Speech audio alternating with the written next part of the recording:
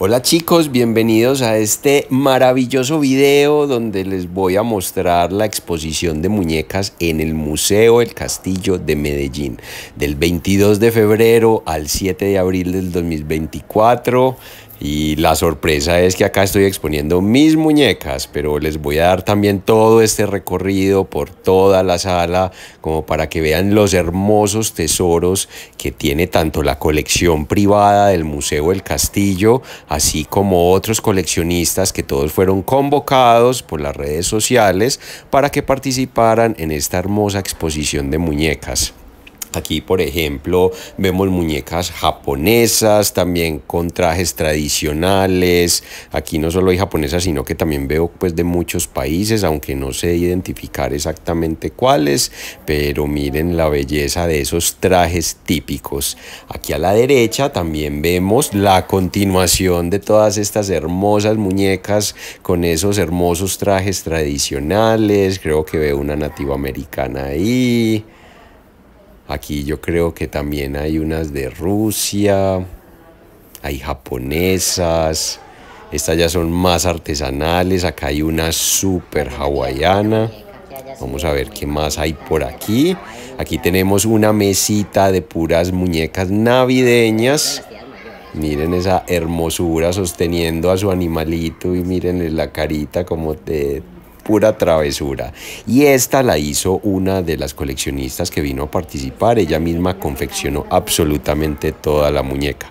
Y bueno, este es el momento que a mí me tiene súper feliz, que les voy a mostrar cómo quedó mi hermosa colección de Barbie. Miren esta hermosa vitrina donde estoy mostrando algunas de las carreras icónicas de Barbie a través de los años. Entonces tenemos la maestra, la odontóloga, la presidenta, la astronauta, la diseñadora de modas, la maestra del 65, la salvavidas, la cantante. Aquí tenemos a la administradora de una tienda de ropa, la bombera y la policía.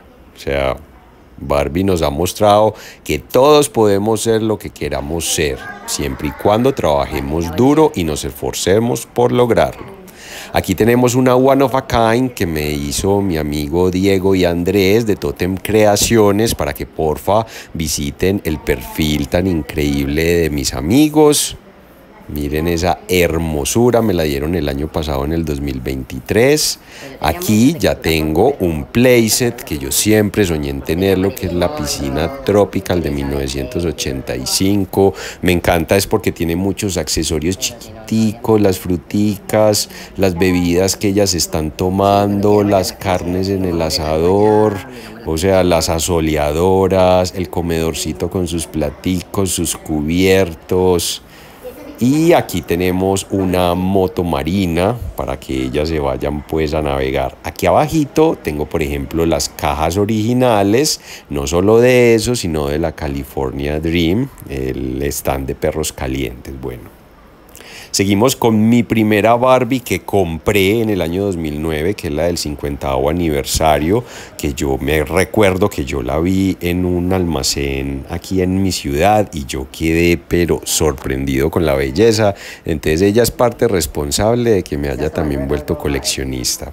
Continuamos con esta hermosa vitrina que estoy haciendo una línea del tiempo para que la gente que visite la exposición comprenda cómo ha sido la evolución de Barbie en cuanto a su cara, en cuanto a su cuerpo, en cuanto a la moda a través de las décadas. Entonces por eso ahí empezamos desde el 59, pasamos a los 60, miren que ahí va el 63, el 64, pasamos al 67 donde volvió a cambiar de rostro y ya tenía su cintura twist and turn.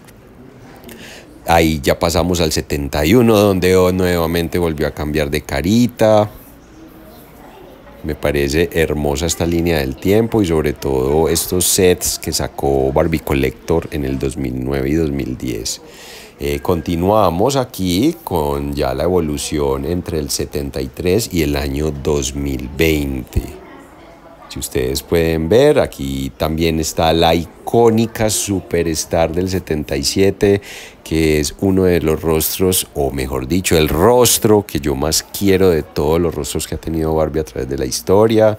Aquí ya podemos ver a Barbie a través de los años 80 con esa moda loca, la Toraly Hair, que es la Barbie más vendida de la historia, que la quería tener aquí en la exposición, y algunas Barbies de los años 2000 y 2010 hasta la última del 2020 que me regaló mi amigo Juan José entonces aquí ya tenemos la evolución de Barbie. Bueno, y vamos a continuar con una vitrina llena de celebración, porque está Barbie en celebraciones especiales como lo es la Navidad, que ya eso es una tradición de todos los años que Mattel Creations nos saca una Barbie anual. Aquí tenemos una de los 80s y 90s divinas. Esta del 2008 fue mi segunda Barbie que compré aquí en Colombia. Y aquí tenemos unas de celebraciones de los 50 aniversario, el 50 aniversario de Ken y el 60 aniversario de Barbie. Entonces aquí Barbie nos demuestra que ella celebra todo. Aquí tenemos un textico que yo redacté me parece pues muy lindo como quedó todo aquí como en ese arco y acá en el, abajo estos playsets. Tenemos aquí el snack stand eh, distribuido por Divon Colombia en los 90 que me siento muy orgulloso de que este playset era exclusivo de Divon Colombia aquí. Y tenemos el gimnasio de la Grey Shape Barbie que aquí tenemos varias Barbies que están haciendo ejercicio para mantenerse en forma porque estuvieron comiendo comida chatarra ahí en ese snack stand. Y aquí abajito tengo las cajas originales porque me parecen hermosas las fotografías que acompañaban esas cajas entonces queda muy lindo todo. Aquí tenemos la Superstar del 88 hecha en Rotoplas Venezuela que me ayudaron a restaurar todos mis amigos, Andrés que le hizo el cabello, Diego que le reparó el cuello y le maquilló el rostrico y Juan José Saldarriaga que le quitó una manchita en la nariz. Y terminamos mi exposición aquí con Barbie en la cultura pop. Entonces aquí podemos, podemos ver a los de Crepúsculo, podemos ver a la Barbie de Toy Story podemos ver a la hermosa Grace Kelly, a Barbie como Frank Sinatra, Barbie como Elvis. Este no es de Mattel, pero traje a James Dean porque me parece muy lindo. Tenemos aquí a las chicas de Día de los Muertos, Mariah Carey y una de las chicas Bond.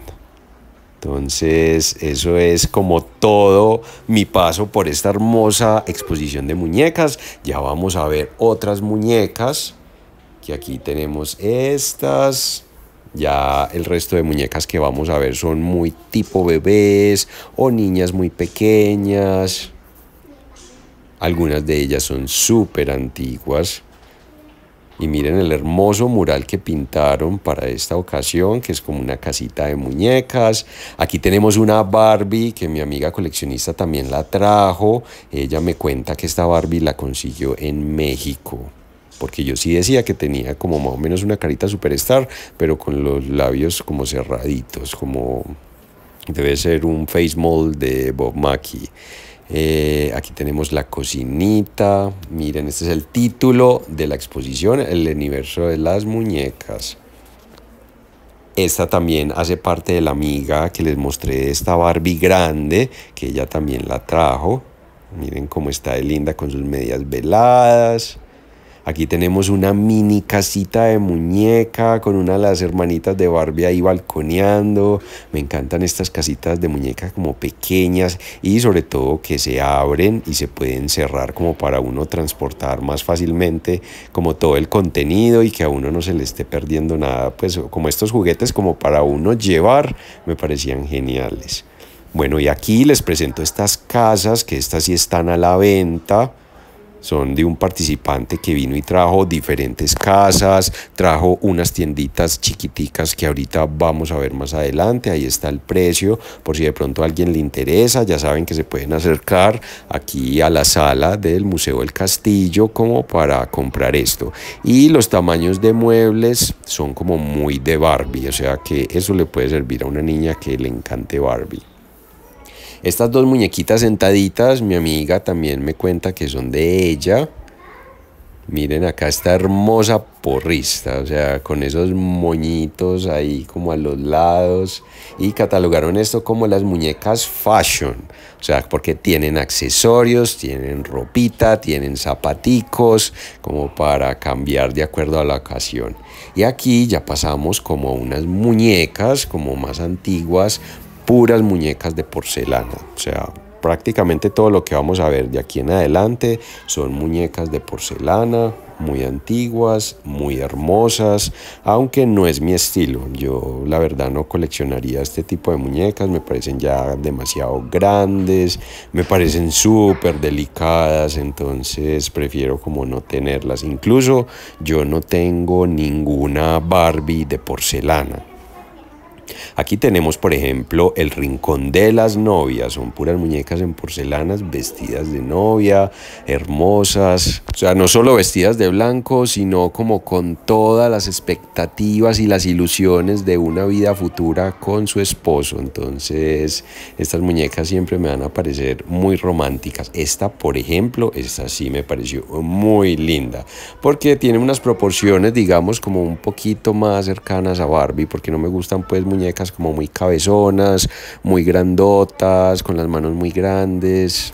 O sea, si yo tuviera una muñeca de porcelana, sí tendría que tener unas proporciones muy cercanas a Barbie. Bueno, miren estas bellezas de bailarinas en porcelana que me parecieron sensacionales. Aquí tenemos otra de las casitas de muñecas que están a la venta. Miren cómo se vende bien con las muñequitas.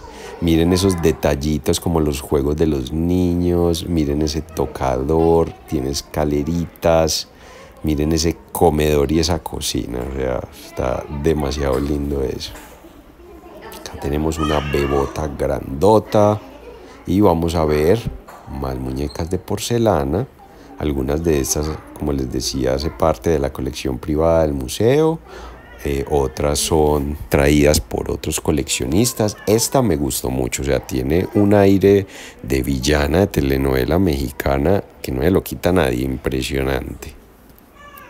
Esta también me gusta mucho porque también tiene como unas proporciones muy similares a Barbie, exactamente esta. O sea, el rostro me parece hermoso. Bueno, y aquí tenemos una muñeca más moderna, la Cenicienta de Disney, que resalta entre todas estas muñecas antiguas. Sobre este mueble seguimos con más muñecas de porcelana. Miren esta que está acostadita. Todas estas están sentaditas ahí. Miren esa belleza. Vamos a ver a esta que está en esta mesita. Y Miren esta que fue hecha como en papel. Y bueno, vamos a ver al interior de esta vitrina todas estas muñequitas chiquiticas. También vamos a poder ver como unas tacitas de té. Miren esta gran variedad de muñequitas chiquiticas. Miren estos bebés que se ven como muy antiguos. Miren toda esta variedad. O sea, me gusta mucho que participen muchos coleccionistas y aquí tenemos unas Barbies que no son mías, pero que también trajeron ahí. Entonces, como les decía, me gusta que participen muchos coleccionistas porque le dan una gran variedad como a esta exhibición. Y aquí ya tenemos unas que son más manuales, más como de tejidos. Ahí tenemos a Frida Kahlo. Sí, dice muñecas artesanales. Bueno, vamos a seguir con esta. Esta de la izquierda es la más antigua de la exposición. Es de la época de la colonia. Entonces, imagínense los años que tiene y tiene su traje original. Me cuenta pues mi amiga Ana María, que es una coleccionista de arte de Bogotá y vino a exhibir también sus muñecas. Me encantan, por ejemplo, toda esta temática que hay aquí, que son muñecas muy antiguas y miren ese hermoso coche de bebé, o sea, es una pieza impresionante. Y acá tenemos una muñeca muy famosa que yo no sabía, es que la Mariquita Pérez. Es muy conocida y muy famosa en España. Entonces, es la primera vez que yo la conozco.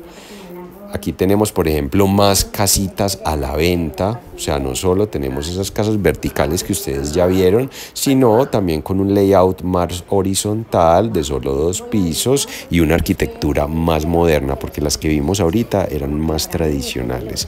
Entonces, si tú le quieres dar como un estilo más moderno a tu hijo o a tu hija, le puedes comprar una de estas casitas. Miren cómo se ven de lindas con las muñequitas. Aquí tenemos, por ejemplo, una sala con más muñecas. Estas también son de la otra amiga coleccionista, la que trajo la muñeca Barbie grande mexicana. Y vamos a ver también unas tienditas que yo también les dije ahora que también estaban a la venta, que son estas, que son como unas pastelerías. Miren esos colores tan lindos. Ahí está el valor. Por si de pronto alguien se anima a comprarle eso a su niño, a su niña, o no necesariamente al niño, sino que le gustan las miniaturas, porque yo también colecciono, por ejemplo, Playmobil por las miniaturas que me parecen lo máximo. Vean estas bellezas. Y miren los interiores de las tiendas con vitrinas y todo. Miren ese detalle. Bueno, ahora vamos a alborotar el corazón de los niños ochenteros con estos Barbie Repollo fueron una locura en los años 80. O sea, si pueden, busquen videos de YouTube cuando salían a la venta nuevos ejemplares de estos repollos en Estados Unidos. Eso era la cabose. Es como cuando ahora sale un iPhone nuevo, que es una locura y que todo el mundo quiere tener uno. Hay peleas, hay riñas, hay de todo que no debería ser así porque pues son cosas materiales, pero digamos que eso despierta mucha pasión en la gente. Bueno, aquí tenemos también una serie de muñecos que ya son muñecos más bebés que a mí la verdad no me gustan, pero miren cómo se ven de lindos en sus cunitas y en sus camitas. Vean esa belleza.